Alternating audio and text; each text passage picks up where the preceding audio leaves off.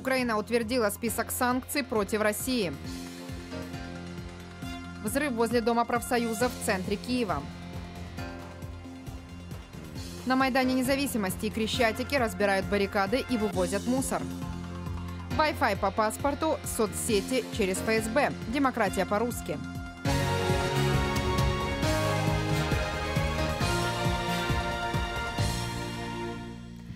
Добрый вечер. События пятницы, 8 августа на канале БТБ в студии Оксана Гуцайт. Кабинет министров утвердил проект закона о санкциях против стран, поддерживающих терроризм в Украине. В первую очередь это касается России. Список включает 26 видов возможных санкций и почти две сотни физических и 65 юридических лиц, въезд и деятельность которых в Украине будет ограничена. Подробности документа об ограничениях расскажут наши журналисты. Кабинет министров утвердил проект закона о санкциях против стран, поддерживающих терроризм в Украине. В первую очередь это касается России. Голосование по документу состоится в Верховной Раде уже в грядущий вторник. В соответствии с ним Украина получит право применить 26 санкций, в том числе замораживание активов, запрет предпринимательской деятельности и любых видов транзита, а также запрет на въезд и перемещение. Кабмин составил список лиц, которые персонально ощущать на себе действия санкций. Кабінетом міністрів України. Кабинетом министров Украины на рассмотрение Совета национальной безопасности и обороны передаются фамилии 172 физических лиц, граждан Российской Федерации и граждан других государств, которые финансируют терроризм, поддерживали аннексию Крыма и посягают на территориальную целостность и независимость украинского государства. Територіальну цілісність і незалежність української держави. Также Яценюк отметил, у него нет сомнений, что Россия будет продолжать следовать курсу запрета импорта украинских товаров и сокращения сотрудничества с Украиной. Потому введение санкций закономерно, подчеркнул премьер-министр, а также признал, оправданные потери от введения санкций понесет и Украина. В самому негативному сценарії При самом негативном сценарии для Украины в первый год потери, которые могут быть не только из-за санкций, но и из-за агрессивной политики Кремля, 7 миллиардов долларов. 7 мільярдів доларів. Украина, несмотря на потерю российского рынка сбыта, даже при условии санкций сможет показать рост экономики, утверждают эксперты. А вот Россия болезненно отреагирует на ограничения, в первую очередь в сфере транзита. тоже стрелковое оружие, которое на сегодняшний день производится в очень больших количествах в Украине. И транспортные средства – это заказ украинским предприятиям, это поднятие именно украинских предприятий и поднятие тяжелой промышленности. То есть для Украины это как это ни парадоксально, позитив. Что же касается транзита, то это достаточно больно и жестко, потому что э, нефтегазовая сфера – это то, на чем держится на сегодняшний день Российская Федерация. Вступят в силу и объявленные ранее санкции в сфере культуры. Прокат двух российских фильмов уже отменен по причине искажения исторических фактов сценаристами лент. Список же представителей российской культуры, деятельность которых на территории будет запрещена, все еще не утвержден. в'їзд, про в'їзд чи не в'їзд тих чи інших діячів культури. Въезд или не въезд тех или иных деятелей культуры России не Министерство культуры определяет. И, конечно, их не будет 511. З цього списка И никого из этого списка я называть не буду, но там около 14 лиц отобрано в так называемый список тех, на кого распространяются некоторые ограничения. Какие, это не я решаю. Это решают определенные органы совместно с Министерством иностранных дел спільно е, з Міністерством закордонних справ. Список экономических и культурных санкций со временем может только расшириться, заявляют эксперты. Впрочем, по словам Арсения Яценюка, правительство принимает жертвы во имя нового образца будущего Украины – прогрессивного и независимого. Андрей Луценко, Александр Банный, Юлия Бойнарь, БТБ. Ради прогрессивного и независимого будущего нашей страны сражаются и воины на востоке Украины. Те из них, кро- кто проявил мужество и героизм в ходе АТО, награждены государственными наградами. Орден Богдана Хмельницкого третьей степени получили 29 воинов, медаль за мужество 72, за военную службу Украине 11 человек, за безупречную службу 1, а 21 воин отмечен наградами посмертно. Соответствующий указ подписал президент Украины. Кроме этого, Петр Порошенко подписал указ о повышении предельного возраста пребывания военнообязанных в запасе, которые имеют опыт военной службы и могут быть использованы для доукомплектации вооруженных сил Украины и других военных формирований.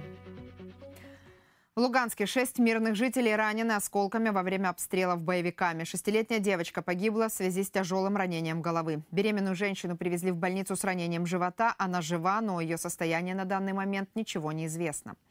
Город полностью отключен от энерговодоснабжения, не работает стационарная и мобильная связь. Кроме того, повреждены или разрушены 40 образовательных учреждений и 7 больниц. Остро стоит вопрос нехватки медикаментов, поскольку работает всего несколько аптек. Большая часть предприятий прекратили свою работу из-за вооруженных противостояний. В Донецке ночью во всех районах были слышны взрывы, залпы из тяжелых орудий и автоматные очереди. Сообщения о жертвах не поступает. Напомню, вчера в результате обстрелов террористами жилых кварталов Донецка погибли 4 мирных жителя, еще 18 получили ранения.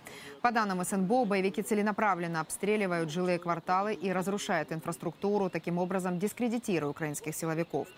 В то же время системы жизнеобеспечения города работают в штатном режиме. Специалисты Облэнерго и Энергоуголь сейчас восстанавливают поврежденные сети энергоснабжения, а Донецк Гортеплосеть продолжает плановую подготовку к отопительному сезону.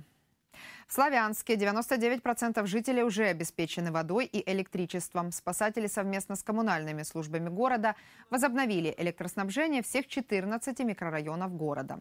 Вновь подключены к электросетям Славянский горсовет, больница и Управление государственного пенсионного фонда. Возобновили работу хлебозавод, торговые супермаркеты и прочие важные объекты инфраструктуры. Также восстановлено водоснабжение, а городская котельная готова к отопительному сезону. Силы антитеррористической операции освободили поселки Миусинск и Круглик Луганской области, а также Пантелеймоновку, это Донецкая область. Эти населенные пункты имеют важное стратегическое значение, поскольку фактически перекрывают трассы, по которым боевикам подставлялось оружие. По словам спикера информцентра СНБО Андрея Лысенко, за прошедшие сутки в зоне проведения АТО погибли 15 силовиков, еще 79 получили ранения. Террористы более 40 раз обстреливали украинских военнослужащих. Активные боевые действия проходят возле Красного Яра, Горловки, Успенки, Каменки. Из минометов боевики обстреляли блокпосты возле Камышного и Мелового. Кроме того, из градов наемники открывали огонь по силам АТО близ Новоанновки, Вергунского разъезда, Стукаловой балки, а также в районе аэропорта в Луганске. Также Андрей Лысенко сообщил, что за последние сутки российские беспилотники вновь нарушали воздушное пространство Украины. За последние сутки пограничники зафиксировали пять российских беспилотников, нарушивших воздушное пространство Украины в районах экватории порта Мариуполь по направлению Армянск, Красный Чабан Херсонской области, Геническа и Бердянска. Россия не только обстреливает наших военных, но и продолжает поставлять боевикам на востоке Украины тяжелое вооружение. Так вчера наемникам из Федерации в Красный Луч Луганской области поступило 15 установок «Град». Андрей Лысенко сообщил также, что в морге Луганска обнаружено тело прокурора города Свердловска, на котором видны следы пыток и удушья. Прокуратура долгое время пытали террористы, требуя перейти на сторону так называемой ЛНР. Не получив согласия, боевики повесили украинского милиционера. По словам коллег, он до конца выполнял свой долг и не стал предателем и остался настоящим патриотом Украины.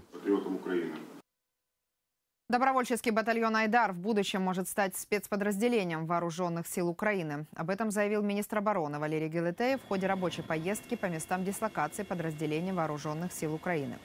В частности, он встретился с личным составом 24-го батальона территориальной обороны «Айдар» и принял решение более интенсивно задействовать его при выполнении боевых задач АТО. Для этого подразделению предоставят дополнительное вооружение, в том числе и военную технику. Личный состав пройдет переаттестацию, в результате которой отберут лучших бойцов.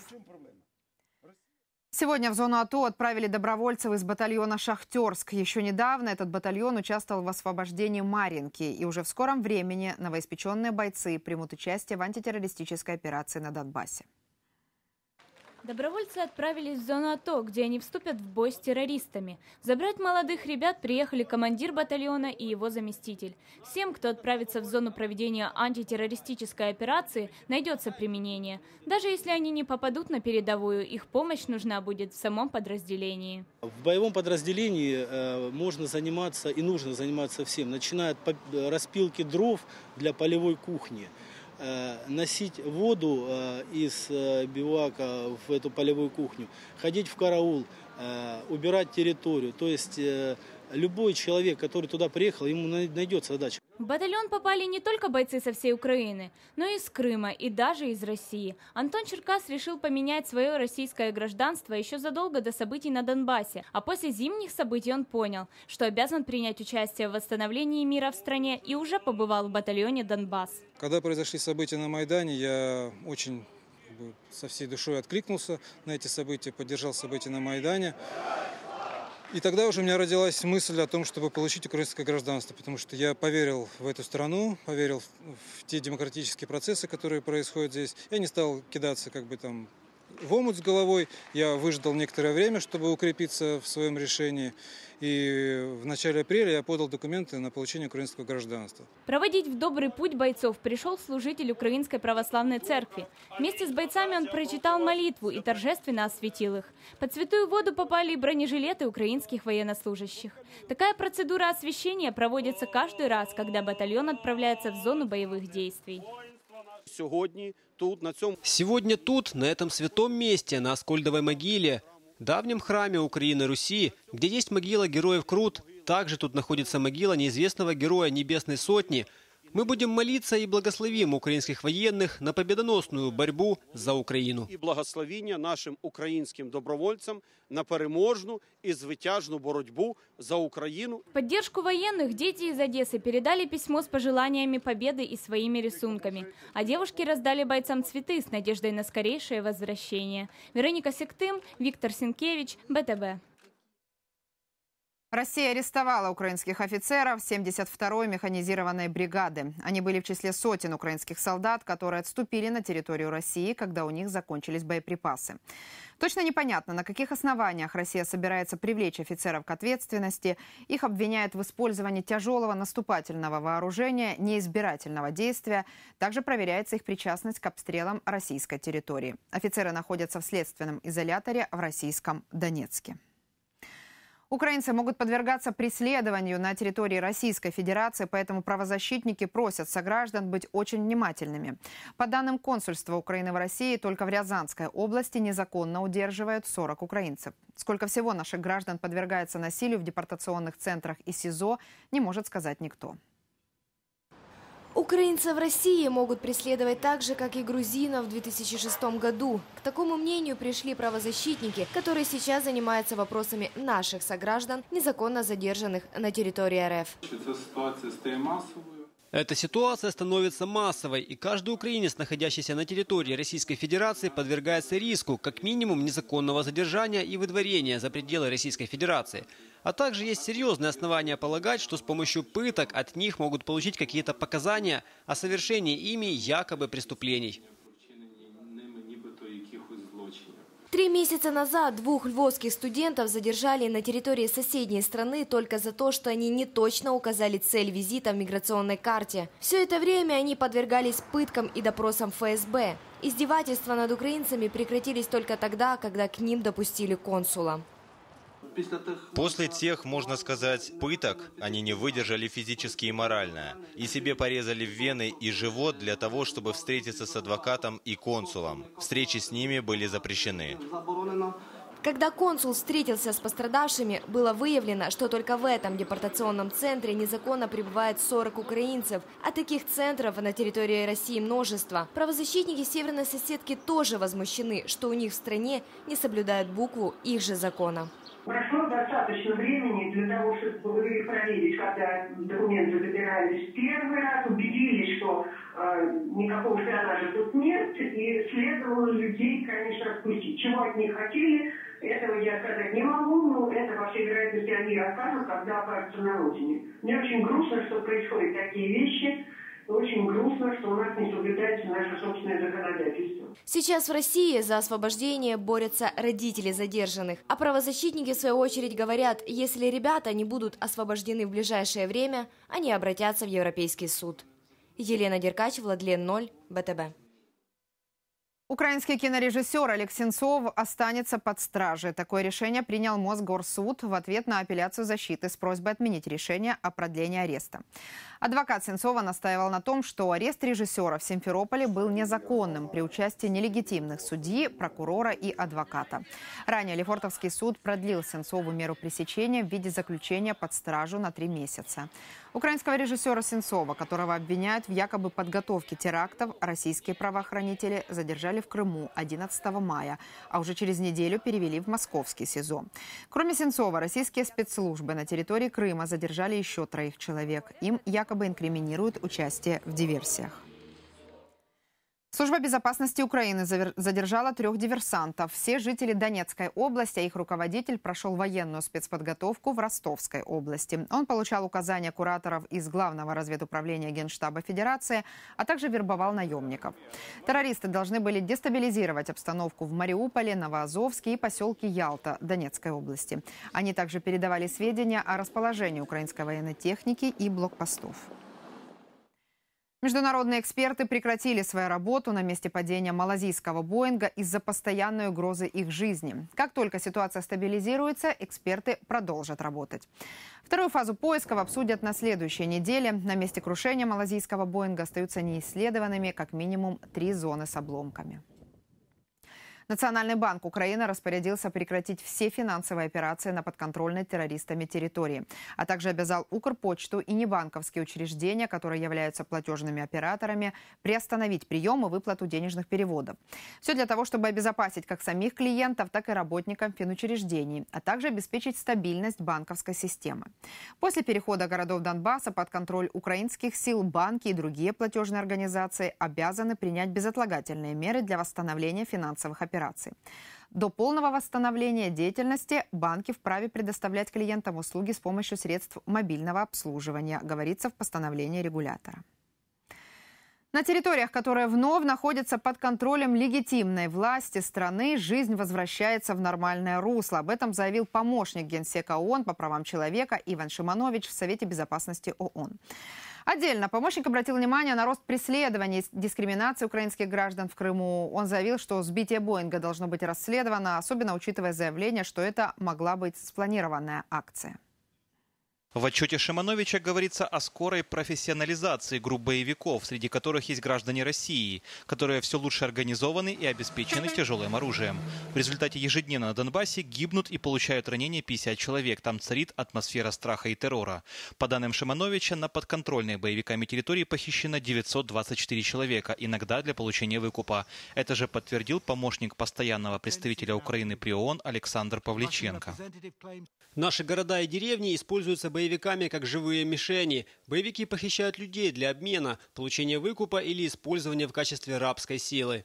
Нельзя допустить, чтобы под прикрытием гуманитарной помощи в Восточную Украину проникали силы, которые насильственно захватывали территорию. Об этом сообщила постоянный представитель США в ООН Саманта Пауэр. Россия на этой неделе предложила создать гуманитарный коридор для того, чтобы помогать страдающему населению в Украине. Однако помощь должна оказываться международными гуманитарными учреждениями, у которых есть и экспертный опыт, и беспристрастность. Нет логического обоснования тому, чтобы Россия требовала дать ей возможность оказывать гуманитарную помощь. В свою очередь, постоянный представитель Литвы Раймонда Мармакайте заявила, что на Донбассе царит закон пистолета. По ее словам, сепаратисты, которых поддерживает Россия, часто и многократно нарушают права человека продолжая подрывать суверенитет Украины и территориальную целостность. 104 здания захвачены этими сепаратистами. Они используют складские и заводские помещения для военной подготовки. Сепаратисты захватили примерно 800 человек. Где находится более 400, захваченных ранее, неизвестно. Александр Мужичук, БТБ. Австралия готовит новые санкции против России на тот случай, если российские войска под видом миротворческого контингента войдут в Украину. Об этом сообщил премьер-министр Австралии Тони Эббот.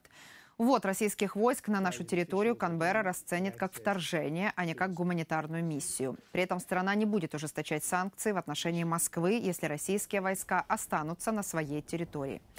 Напомню, сейчас на границе с Украиной Москва проводит беспрецедентные по своему масштабу военные учения.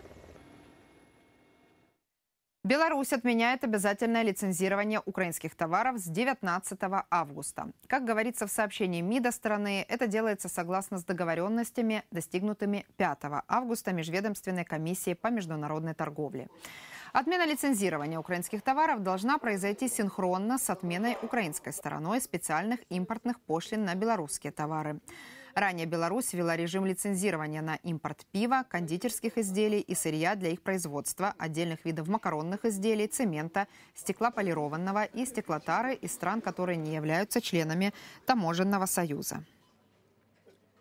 Киев прибыл самолет из Канады. В нем 32 тонны военного оборудования и снаряжения. Речь идет о шлемах, защитных очках, бронежилетах, аптечках неотложной помощи, палатках и спальных мешках. Это только первая партия груза. Всего запланировано несколько поставок снаряжения на сумму 5 миллионов долларов, которая поможет обеспечить безопасность Украины и ее восточных границ.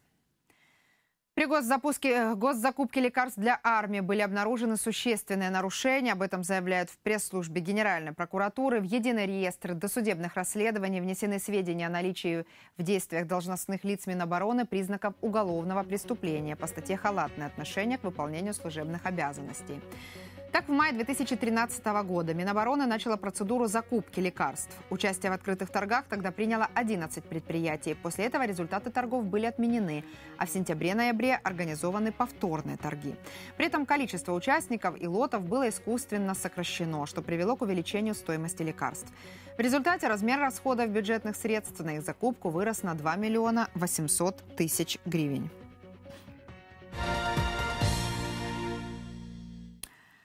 В центре Киева сегодня около украинского дома прогремел взрыв. Правоохранители уже задержали злоумышленника. Он угрожал директору украинского дома и бросил в его сторону гранату. Очевидцы происшествия помогли схватить преступника, вызвали и скорую, и милицию. Ранено два человека, один из них направлен в госпиталь. Коммунальщики разобрали две баррикады на Майдане независимости в столице, а также вывезли около 20 машин мусора. Исчезли заграждения на Крещатике возле Дома профсоюзов и на перекрестке с Институтской. Жители палаточного городка по договоренности с главой Киевской городской администрации Виталием Кличко сопротивления не оказывают. Городской голова также лично примет участие в завтрашней уборке Майдана независимости. Она начнется в полдесятого утра. Министерство культуры Украины разработало предварительный план по празднованию Дня независимости в Киеве и надеется, что обитатели Майдана не будут мешать киевлянам. Об этом сообщил министр культуры Евгений Нищук. По его словам, сейчас ведутся с ними переговоры об освобождении центральной площади страны. В министерстве надеются, что в День независимости на Крещатике все-таки пройдет парад, в котором будет участвовать военная техника и авиация.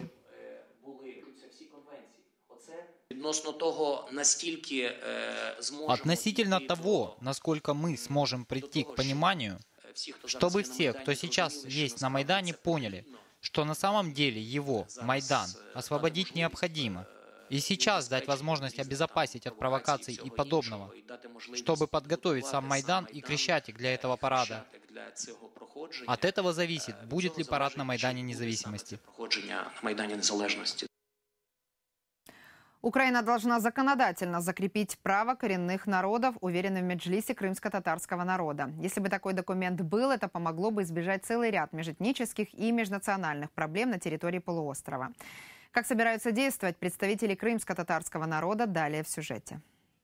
По сей день права крымских татар не определены в Украине на законодательном уровне, говорит Мустафа Джемилев. Он также отметил, есть соответствующая декларация ООН, в которой говорится, что без твердого согласия коренного народа на его территории не могут проходить какие-либо войны, либо размещаться военные базы. Я не думаю, что страна, которая оккупировала нашу территорию сейчас, считалась бы с этой декларацией коренных народов. Она не считается с другими более подписанными самим же этим э, государством нормами, в частности Будапештским соглашением 1994 года, она все-таки оккупировала, э, совершила агрессию, но тем не менее это был бы одним из довольно веских аргументов для освобождения нашей территории. В то же время представители крымско-татарского народа инициируют переименование Крыма в Крымско-татарскую национальную автономную республику. Мустафа Джемилев отметил, данный вопрос он лично обсуждал с президентом Украины. Но главное не столько название, главное содержание. Поэтому один из основных элементов – функционирование крымско-татарского языка как одного из официальных языков полуострова. Мы считаем, что в Конституции Украины должно быть записано, что автономная республика Крым – это национально-территориальная автономия крымско-татарского народа, демократическая автономия в составе демократической Украины. Но как бы ни разворачивались события, глава Меджлиса Рифат Чубаров уверен, рано или поздно все закончится за столом переговоров, за которым должны быть восстановлены гарантии на свободное развитие и свободную жизнь, и прежде всего народом. По моему мнению, за этим столом слабая позиция должна быть у Российской Федерации. И не только потому, что она является агрессором, хотя это главный фактор – но и потому, что в Украине должны быть все главные, признанные международным правом аргументы, которые не смогут найти никаких возражений. Аргументация коренным народом, международным правом по коренным народам. Вот это и есть позиция Украины. Екатерина Доброгорская, Александр Банный, БТБ.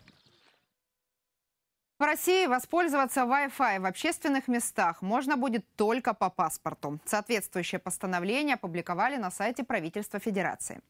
Таким образом, оператор будет идентифицировать пользователя интернета. Кроме того, сведения по этому человеку, его фамилию, имя, отчество и реквизиты документа, а также информацию об объеме и времени оказания услуг провайдер обязан будет хранить в течение полугода. Дмитрий Медведев обязал соцсети устанавливать оборудование для ФСБ. С его помощью спецслужбы и правоохранительные органы будут осуществлять свою разыскную деятельность. Интернет-ресурсы будут обязаны внедрять оборудование согласно плану, разработанному ФСБ. По мнению экспертов, такие мероприятия облегчат спецслужбам поиск людей, которые написали тот или иной текст или комментарий. Хорошо еще, что в России в людей не вживляют электронные чипы, по которым пускают электронный ток в случае неповиновения Кремлю. Слава богу, что мы живем в Украине. Слава Украине. Спасибо, что вы были с нами. Надеюсь, так будет и далее. Приятного вам пятничного вечера и до встречи в 22.00.